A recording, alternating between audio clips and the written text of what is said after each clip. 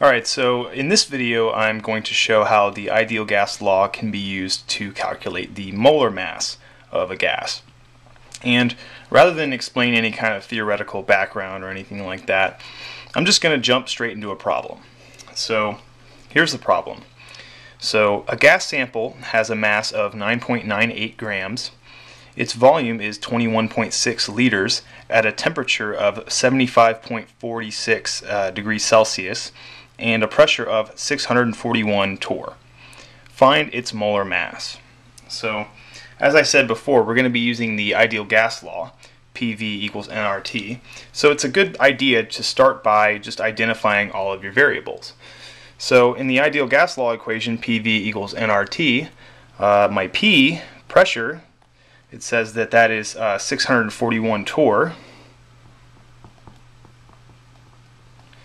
My volume, which is also given, is 21.6 liters.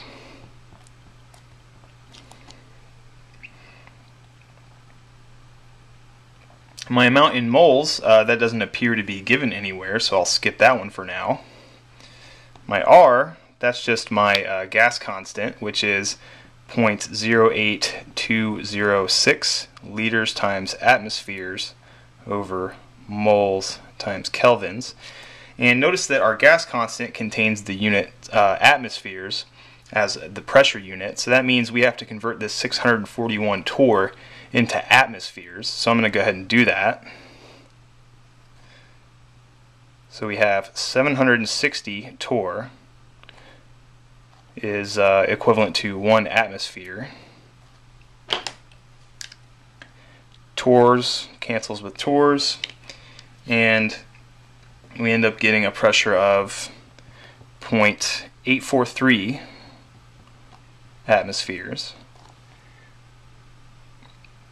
So now we have our uh, uh, pressure successfully converted in, uh, into atmospheres. So we have the P, the V, the R. Let's see if we can find the T. Yep, sure enough, the temperature is given. That is T equals 75.46 degrees Celsius. And our gas constant, once again, has different units. Uh, it has kelvins. So to get uh, 75.46 degrees uh, Celsius in kelvins, we're simply going to add uh, 273.15. And that result is going to give us 348.61 kelvins. So now we have all the right units. So we have pressure, we have volume, uh, we have the gas constant, that's always known, and then we have temperature. So the only thing uh, that, we're, that we don't have that we're trying to figure out so far is the, the amount in moles. So this is what's going to lead us to find uh, the molar mass. So if we solve for n in the equation PV equals nRT, that is as simple as dividing both sides of the equation by RT, and we'll get that n is equal to uh, PV over RT. So now we can uh, just simply plug in all the values and solve for n. So I'm going to get that n is equal to PV, so that my pressure is uh, 0.843 atmospheres.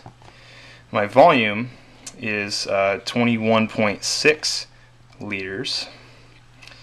My gas constant R is 0.08206 uh, liters times atmospheres over moles times kelvins.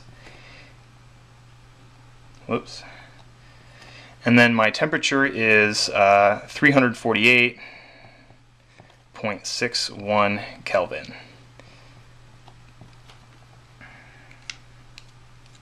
And let's just make sure that we end up with moles.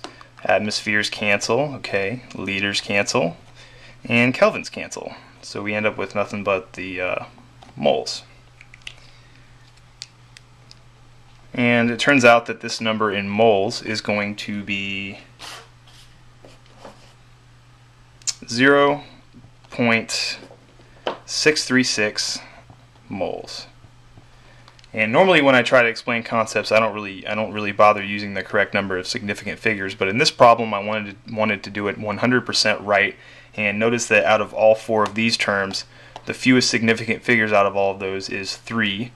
Uh, this one up here and this one up here both have 3 sig figs, and we carry the fewest number, so our answer is also going to have 3 sig figs. So that gives us the amount in moles. So we're almost done.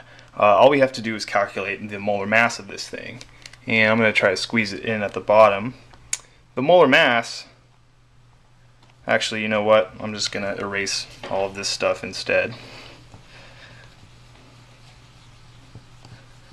So our N is equal to 0.636 moles. So remember that our molar mass, which is uh, capital M, is equal to the mass divided by the number in moles. And if you think back to the original problem, the mass is actually given. It says a gas sample has a mass of 9.98 grams. So I'm going to fill that in. We have 9.98 grams over the number of moles, which is 0.636 moles. And we end up getting about, uh, actually not about, exactly, well not exactly, but with the correct number of sig figs, which in this case is 3, both this number and this number have 3 significant figures, is 15.7 grams per mole. So that is the correct way to uh, use the ideal gas law uh, to solve for the molar mass of a gas, given the pressure, the volume, and the temperature. The gas constant that's that'll always be known.